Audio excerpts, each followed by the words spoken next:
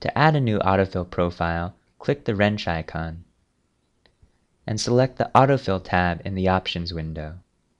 Make sure Autofill is selected and click the Add New Profile link. If you have an existing profile that you'd like to edit, click the Edit link instead.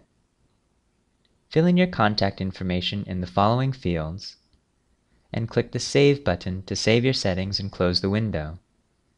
Now, when you visit a form on the web, you can enter your contact information just by clicking the autofill button.